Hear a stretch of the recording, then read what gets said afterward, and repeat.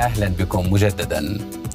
أثار فيلم حياة الماعز للمخرج الهندي بليسي أبي توماس غضبا شديدا في السعودية بعدما جسد الفيلم ما يشبه الجحيم لحياة عاملين هنديين وصل إلى السعودية فاستولى عليهما وكيل مزور بسهولة ويسر واستعبدهما لعدة سنوات في صحراء لا قوانين فيها ولا رحمة مما يفضح السلطة المطلقة التي يملكها الوكيل في السعودية وأيضا في دول الخليج الغنية الأخرى. نتابع. بخطواته على رمال الصحراء يحاول العامل الهندي نجيب النجاة بحياته. فيلم حياة الماعز الهندي يروي معاناة العمال الأجانب في السعودية. فكيف هو وضعهم في المملكة وما هي نسبتهم من المجتمع؟ كباقي دول الخليج تعتمد السعودية بنسبة كبيرة على العمالة الأجنبية فهي تمثل نحو 42% من سكان البلاد. بتعداد يصل إلى 13 مليون فاصل خمسة من أصل 32 مليون شخص. تمثل العمالة من شبه القارة الهندية أي الهند وباكستان وبنغلاديش الأغلبية من العمالة الأجنبية في السعودية بعدد يقدر بحوالي ستة ملايين ونصف مليون شخص. الأغلبية الساحقة منهم تشتغل في قطاعات البناء والعمالة المنزلية والعمالة غير الماهرة التي يشملها نظام الكفالة الذي شهد تغييرات وإصلاحات في عام 2021 هذه الإصلاحات سمحت للعمال الأجانب بتغيير الكفيل وتغيير مكان العمل والسفر إلا أن النظام ما يزال يشهد انتقادات حقوقية واسعة. فالمركز الأوروبي للديمقراطية وحقوق الإنسان يصف الإصلاحات بأنها غير كافية داعيا إلى تفكيك نظام الكفالة بشكل كامل. المركز يعتبر أن الإصلاحات بشكلها الحالي لا تتوافق عمليا مع ما يحدث على أرض الواقع. إذا فما حجم الضرر الذي لحق السعودية بسبب هذا الفيلم أو سمعتها على الأقل وما تداعياته السياسية على العلاقات بين الرياض ونيودلهي وبين الرياض والدول التي ساهمت في إنتاج هذا الفيلم؟ لمناقشة هذا الموضوع معنا من الرياض الدكتور أحمد الشهري المحلل السياسي والخبير الاستراتيجي ومن واشنطن الدكتور محمد الشرقاوي أستاذ تسوية الصراعات الدولية. إذا أبدأ معك دكتور أحمد. حياة الماعز فيلم كما تابعت لربما يجسد قصة حقيقية لشاب هندي تعرض في تسعينيات القرن الماضي للاسترقاق. في المملكة العربية السعودية. ما حجم الإحراج الذي سببه هذا الفيلم للقيادة السعودية الحالية؟ بسم الله الرحمن الرحيم. حياك أستاذ أحمد وإلى ضيفك وإلى الأخوة والأخوات المشاهدين الكرام. اولا ما شاهدناه في هذا الفيلم أؤكد لك من الواقع الحقيقة والقصة الحقيقية أنه 30% فقط هو صحيح وهو أنه هذا الرجل السعودي راح ذهب إلى المطار واخذ هذا الرجل ووضعه مع أغنامه وجماله ولفترة يمكن أربع أو خمس سنوات ثم بعد ذلك انتهى هذا العمل بأنه صار حدث بينهم شجار الرجل الهندي قتل كفيله السعودي. وتم القبض على الهندي. بعد ذلك جاء أبناء القتيل وتنازلوا تماما عن دم والدهم والدية التي كان يطالب بها. النسخة السعودية للفيلم. هذا لا هذا هو الفيلم الحقيقي هذا الحقيقي. لا أما ولكن هذا لا يهمنا في النقاش العمل المهم الآن المشاهد في ألمانيا أو في نعم. ستوكهولم أو في واشنطن لا يهمه هذا ال هذا ال حقيقة القصة. لكن الصورة الدرامية التي تجسد جحيما صحراء لا قانون فيها. حتى أن البطل الذي هو مسلم بالمناسبة كان يسأل عن وجود الله لماذا تركه في هذا المكان؟ إلى هذا الحد. لذلك سألتك كيف ينظر في الرياض إلى إلى هذه إلى هذه الصورة التي طرحها الفيلم عن السعودية وعن قانون العمل في السعودية؟ لا ليس له أي تأثير. أؤكد لك أستاذ أحمد لماذا؟ لأنه آه، الفيلم هو تحدث عن شخص واحد. أنت قلت حتى في مقدمتك شخصين. هو تكلم عن شخص واحد. طيب لماذا لم يتكلم عن ثلاثة مليون هندي؟ منهم من هو رئيس تنفيذي إلى آه، عامل آه، عادي. اذا ثلاثة مليون هندي هل يعتد بحياتهم في المملكة العربية السعودية أم يعتد بحالة فردية؟ أعتقد الحالة الفردية موجودة في ألمانيا موجودة في الهند نفسه لو أردنا أن نتحدث عن أفلام وأنا قلتها في تغريدة. قلت بإمكاننا أن نصدر مئات الأفلام. عن قضايا حصلت في الهند أو حصلت من هنود داخل المملكة العربية السعودية. وكذلك نستطيع أن ننتج مئات الأفلام عن الولايات المتحدة الأمريكية وعن ألمانيا. إذا آخر كريم هو فيلم درامي ربما يستمتع به المشاهد لكن 70% من أحداث هذا الفيلم لا تمت للحقيقة بصلة ولا تمت لأخلاق السعوديين ولا أخلاق المسلمين بصلة على الإطلاق. وبذلك أؤكد لك تماما أنه مثله مثل أي فيلم يحاكي ضد المملكة العربية السعودية. طيب دكتور أحمد في نفس الأسبوع الذي هناك في نفس الأسبوع. حتى يكون سؤالي لربما أوضح. هناك من يرى آه، آه، بأن الفيلم قضى على كل إنجازات هيئة الترفيه أو على معظم إنجازات هيئة الترفيه التي يترأسها آه، تركي آل الشيخ. ما رأيك؟ هذا غير صحيح. أريد أن أكمل وأقول أنه في نفس الأسبوع أيضا كان هناك حديث من آه، صحيفة بيتركل آه، الأمريكية وقدمت رواية أيضا عن المملكة العربية السعودية. بعدها أيضا في يومين كان هناك رواية من البي بي سي عن حديث آخر عن آه، سمو ولي العهد. إذا هذه ثلاث روايات الحقيقة وجاء الفيلم ليكمل هذه الروايتين. ثلاث روايات قدمت العربية السعودية. هذه حملة إحنا نضعها في إطار حملة يراد فيها تشويه صورة المملكة العربية السعودية يراد فيها تشويه صورة القيادة السعودية. وأنا قلت لماذا لأن السعودية قالت لا للتطبيع مع إسرائيل وقالت لا لعلاقة مع نتنياهو من أجل أحداث غزة وقالت لا لاتفاق أمريكي بدون أن يكون هناك ثمن. لذلك نحن نضع هذا الهجوم الغير المبرر للمحاولة لتشوية سلطة المملكة السعودية. طيب لكن المملكة العربية السعودية آه، أعتقد أنها بسياستها وبرؤيتها تستطيع أن تقدم الوقت نفسها. الذي استغرقه إنتاج هذا الفيلم والذي آه، يقدر بعدة سنوات آه، من إعداد السيناريو ومن كتابة قصة الفيلم وبالتالي إنتاجه كما أصبح الآن على شاشات السينما والمواقع الإلكترونية. أستاذ دكتور محمد الشرقاوي إلى أي مدى عاد الفيلم وضع حقوق الإنسان في المملكة العربية السعودية إلى الواجهة؟ وهل تتفق مع الدكتور أحمد الشهري حين قال بأن الفيلم لم يؤثر على صورة السعودية وأن ما قامت به هيئة الترفيه هو الصورة التي آه، ما زالت مسيطرة ومهيمنة على الرأي العام العالمي. اولا هذا الفيلم ليس من روايات الخيال العلمي وإنما يستند إلى واقع ويستعرض معضلات خفية خلف نظام الكفالة واستغلال العمال الأجانب. فلا يمكن أن نعتبره يعني مناورة ضد السعودية ولكن ينبغي أن نحتكم للعقل أن هذا الفيلم وعدة أمور أخرى تساهم في أن تصحو السعودية من هذه الصدمة. وتجيب بنفسها على سؤال قائم منذ عام 2017 عندما أصبح محمد بن سلمان سيد أو رجل الحل والعقد في السعودية.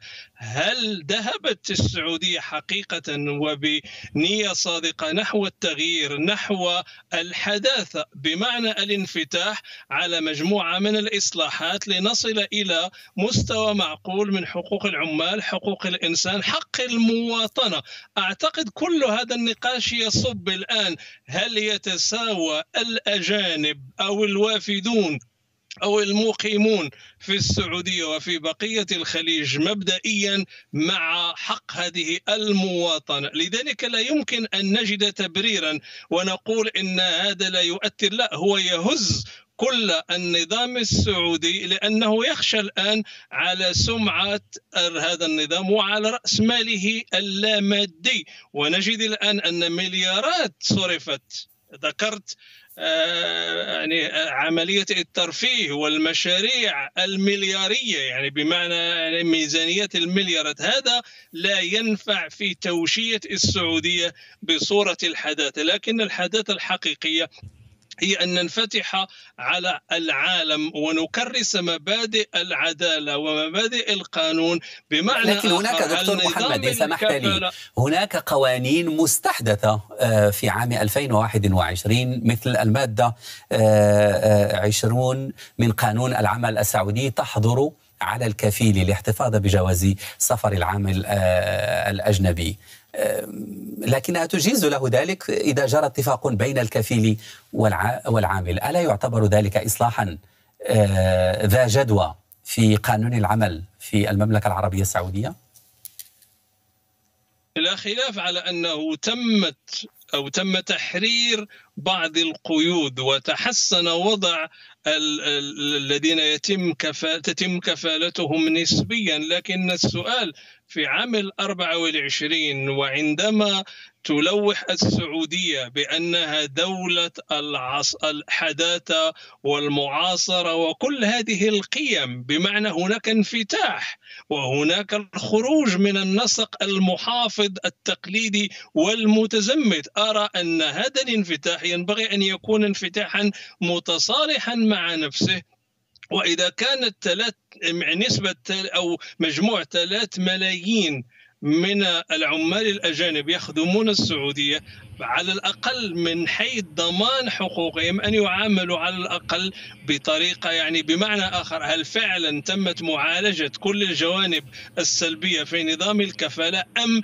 انتقينا بعض ما هو رمزي والبعض الآخر لا زال الآن خلف بيروقراطية عقيمة وبيروقراطية لا تجاري بقية البيروقراطيات في العالم. لذلك المسألة هي ترتبط في الأساس هل هناك منظومة قضائية تحمي العدالة تحمي حقوق كل من يوجدون على أرض السعودية وأرض الخليج أم لا زلنا بين فئتين؟ المواطن والمقيم والمقيم يبقى خلف غياهب ألا قانون ولا عدالة. طيب سنعود للتفصيل في الشق القانوني والسياسي لهذا النقاش ولكن سنقف وقفة يعني ليست بالقصيرة مع الناقد آه، السينمائي الدكتور مصطفى طالب الذي ينضم إلينا من الرباط. دكتور مصطفى أهلا بك. في الحقيقة شاهدت الفيلم أمس لأول مرة. يا مرحبا. ولم أستطع حقيقة لم أستطع النوم لقوة المشاهد الدرامية التي تجسد قساوة الوكيل على نجيب العامل الهندي. كيف شاهدت الفيلم بعين الناقد؟ آه، شكرا آه، أولا على الدعوة وسعيد بتواجدي معكم. مع ضيوفك آه، أنا الحقيقة يعني الفيلم كان فيلم مؤثر جدا وكان فيلم له قيمة فنية سينمائية وأيضا فلسفية إذا صح التعبير بغض النظر عن الجانب السياسي أو الحقوقي لن أدخل في هذه التفاصيل ولكن من ناحية الفيلم يعني كفيلم كإبداع سينمائي له أهميته آه، القصوى. آه، اولا الفيلم ولا ينتمي إلى سينما بوليود تجارية ولكن إلى سينما موليود والمخرج بليسي هو مخرج في في أفلامه ككل يثير عدة قضايا إنسانية وقضايا اجتماعية ومن بين هذا الفيلم حياة الماعز الذي هو يجب أن نقول أنه شيئا ما تأخر لأنه كان يبحث عن إنتاج الفيلم منذ سنة 2012 وبحث عن عدة منتجين ولم آه، يعني آه، يتمكن من إنتاجه إلى غاية آه، هذا اليوم. الفيلم قوي صحيح الناحيه الدرامية من ناحية المشاهد يعني ولو إن كان فيلم طويلا يعني تقريبا تقريبا ثلاث ساعات ولكن كل مشهد يأخذك وكل مشهد له يعني نعم. مبرراته فلا يوجد تمطط طبعا يعني لابد أنا كان وجهة نظر نقدية يعني أقول أنه الفيلم في البداية يقول أنه لا يسيء إلى أي بلد ولكن كون أنه يعني يضع المشاهد أمام البيئة صحراويه بيئة السعودية أو بيئة الخليج. فهذا طبعا يثير عدة آه، نقاشات ويثير ضجة. ونتفهم الأشقاء في السعودية لماذا يعني هذه آه، الضجة خاصة نعم. أنه جاء في وقت السعودية تريد أن تنتقل من مجتمع يعني قد أقول تقليدي إلى مجتمع حداثي إلى مجتمع آه، عصري. وهو ربما نعم. قد لا يخدم ولكن وقد يخدم وقد يخدم. النقد أحيانا يصحح المسارات.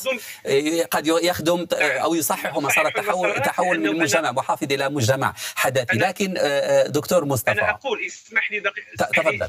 لحظة. أنا أقول ربما هو فيلم حافز كي يدفع السلطات السعودية إلى أن تلغي تماما هذا نظام الكفالة وإن كانت بدأت سنة 2020 21 بتغييره. لأنه هذا يعني هذا نظام الكفالة دائما وضع عدة مشاكل ولكن طيب. ما يهمني هو أن السينما كإبداع استطاعت أن تثير قضايا إنسانية بغض النظر على البلد أو بغض النظر على البيئة ولكن هذا هو المهم أن السينما نعم. أن قضايا يثير تساؤلات وخاصة يضع يعني آه، الإنسان أمام مصيره عندما يتعلق الأمر بالموت أو عندما يتعلق الأمر ب آه، ربما أحيانا الظلم. طيب دكتور مصطفى قمة التوحش من قبل الوكيل بالنسبة لي كمشاهد عادي جسدها مشهد العقبان وهي تفترس جسدا متخشبا. لذلك العامل الهندي الشيخ الذي قضى آه، نحبه في الصحراء ولم يكلف أحد نفسه عن البحث عنه. ما تأثير هذا المشهد على الصورة النمطية لسلطة الكفيل. ليس في السعودية فقط وإنما في دول الخليج الغنية كلها.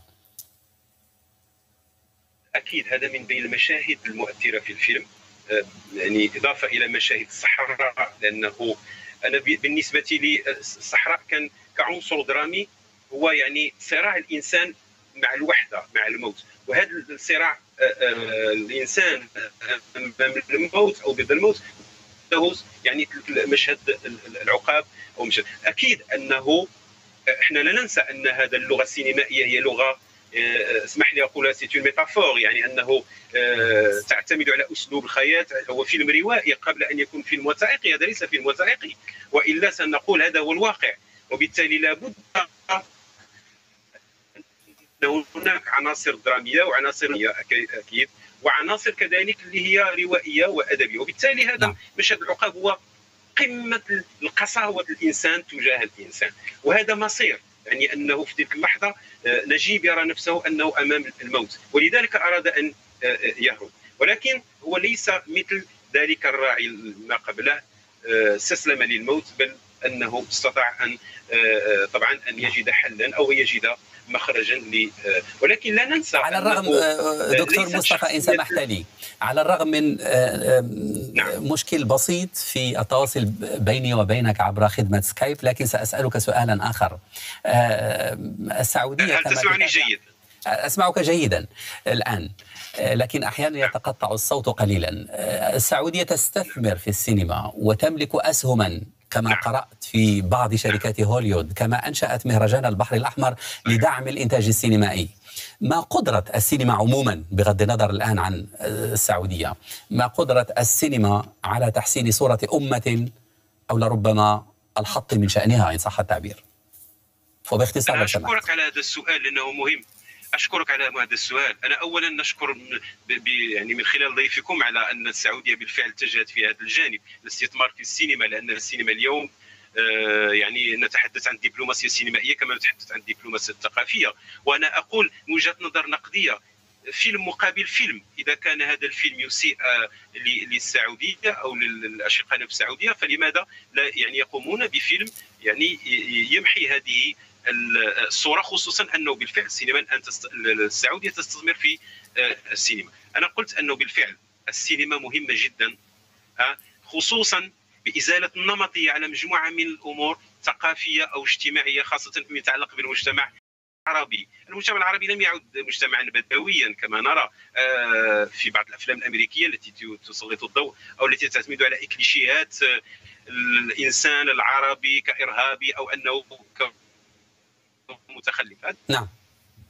ولذلك حتى هذا هذا من بين المؤاخذات ربما التي قد نوجهها لهذا طيب شكرا جزيلا لك الدكتور آه، مصطفى طالب الناقد السينمائي. كنت معنا من العاصمة المغربية الرباط ونعتذر آه، للمشاهدين على هذا الإشكال البسيط الذي كان بين الحين والآخر آه، في التواصل بيننا وبين الدكتور مصطفى. أعود إلى الرياض. إليك دكتور أحمد. إلى أي مدى؟ لك أن تعلق بطبيعة الحال آه، على ما تفضل به الدكتور مصطفى. ولكن إلى أي مدى سيدفع الفيلم السعودية إلى تغيير آه، قوانين العمل خاصة ما تعلق بدور الكفيل؟ أستاذ أحمد آه، اولا أنت تحاكم الفيلم وكأنك تعتقد أنه ما حدث فيه 100% هو صحيح.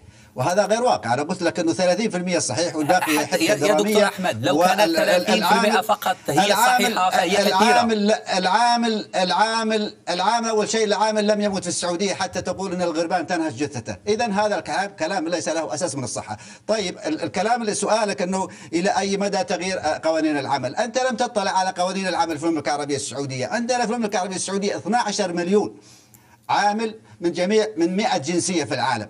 هؤلاء المئة مليون. هل سمعت أن هؤلاء يتعرضون للاضطهاد أو للاستعباد أو للمضايقة أو لدينا محاكم عمالية لدينا آه، حقوق الإنسان لدينا أيضا السفارات الدول في المملكة العربية السعودية يحظون الحقيقة بكل حقوقهم آه، الطبية والصحية والدينية كل نعم. حقوق العمال وإلا لما رأينا هذه الطوابير من مئات الآلاف من الجنسيات تأتي إلى المملكة العربية السعودية لماذا يأتون إلى المملكة العربية السعودية إذا كانوا يعتقدون أن من سبقهم تعرضوا لهذا الجحيم هذه حالة واحدة يا أستاذ أحمد بإمكاننا إن شاء الله في الأيام القادمة سننتج فيلما والكلام لضيفك من أمريكا عن ذلك العسكري أو المواطن الذي سحل في مينيسوتا. أليس هذا موضوع فيلم يا أستاذ الشرقاوي؟ هل هذا سيشوه صورة الولايات المتحدة الأمريكية كاملة؟ هل سيضرب الديمقراطية الأمريكية في مقتل؟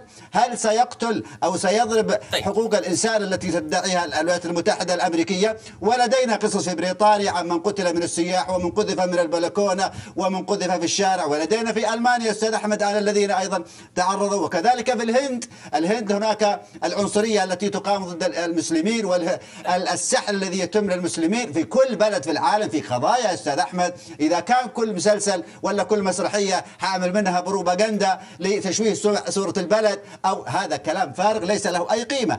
الأخطاء موجودة الجرائم موجودة. طيب. ولم ولم ننكر أن هذا العامل تعرض لنوع من الاضطهاد أو نوع لكن هناك يا دكتور أحمد. صورة آه، دكتور أحمد. إيجابية أخرى. دكتور أحمد آه، آه، لا أتبنى وجهة نظر الفيلم بأي حال من الأحوال وإنما أخذته موضوعا و... و... و... وأنت تشارك برأيك في هذا الموضوع في هذا النقاش فقط بالنظر إلى الجدل السياسي الذي ولده الفيلم وبالنظر إلى ردود الفعل وإلى الجدل الذي موجود الآن في المملكة العربية السعودية إلى الغضب الذي عبر عنه آه عبرت عنه شخصيات سعودية كثيرة. لذلك كان الموضوع موضوع نقاشنا اليوم. لا أتبنى وجهة نظر الفيلم وليست هذه وظيفتي. دعني أسأل الدكتور آه، محمد الشرقاوي. ينتهي الفيلم وحتى ترد على ما تفضل به الدكتور أحمد أيضا آه، بإشارة مكتوبة إلى أن معاناة نجيب هي مثال على معاناة عشرات آلاف العمال الأجانب في المملكة العربية السعودية وفي دول الخليج الغنية وليس السعودية فقط. آه، هل هذه الصورة حقيقية؟ خاصة لما نعلم أن أصوات كثيرة بدأت بعد عرض الفيلم تتحدث عن تجارب مشابهة. هناك من آه، تم استرقاقهن آه، من النساء في مجال الدعارة مثلا في دول خليجية قصص كثيرة لكن لا يمكن التحقق من صدقيتها. تبقى مجرد ادعاءات. هل الصورة هي هذه التي يصورها الفيلم عن وضع العمل الأجنبية في الخليج دكتور محمد؟ اولا أستاذ أحمد أنت إنسان ولك كامل الحق أن تتفاعل انسانيا مع مأساة إنسانية وقعت واوجدت أشخاص على حافة الموت فأرجو ألا تتهم إلا بإقرار أنك إنسان في المحصلة النهائية.